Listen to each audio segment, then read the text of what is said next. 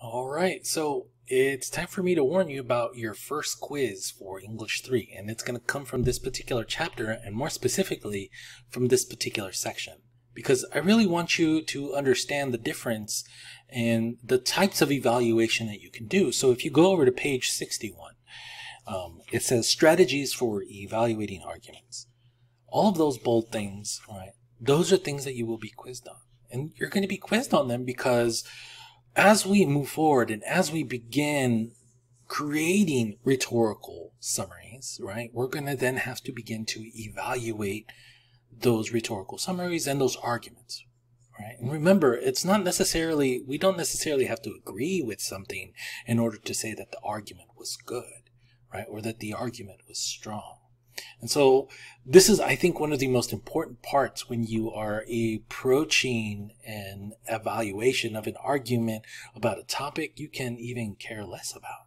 And so this type of tool set is going to be really useful out in the real world when you are encountering things that you don't necessarily want to do. You don't necessarily want to argue, but you are asked to look at because this job was assigned to you. And so it's going to give you that tool set to take from, okay, I have to look at this, I have to consider it, and I have to evaluate it.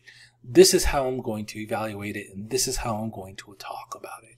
So making sure that you understand these strategies for evaluating arguments is going to be really helpful for you, not just in this class, but beyond this class with real world applications. Think about what you're going to be doing this week in terms of creating, right, a resume on LinkedIn. How are you going to present yourself?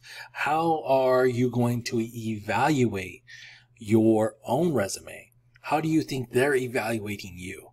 And so by beginning to really understand how you can evaluate something, then you can begin to say, okay, I've evaluated my own particular resume. Now I can go by and say, yes, I am biased towards myself. I think I am great. I, I need this job and I'm perfect for this job, but your resume may not necessarily show those strengths. And by evaluating that yourself and considering it and thinking of it like an argument, then you can go back and say, okay, here's where it's weak.